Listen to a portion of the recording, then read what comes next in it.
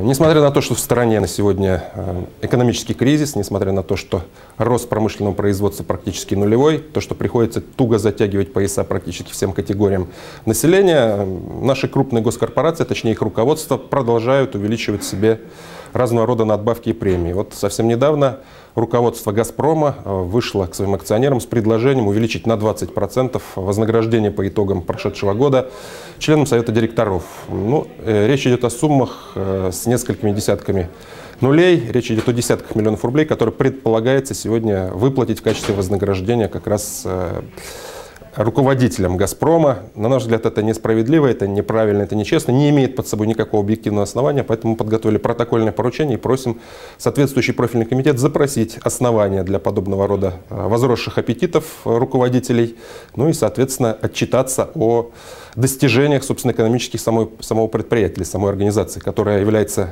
э, в соответствии с рекламой, национальным состоянием, а в итоге является фактически кормушкой для вот своих руководителей.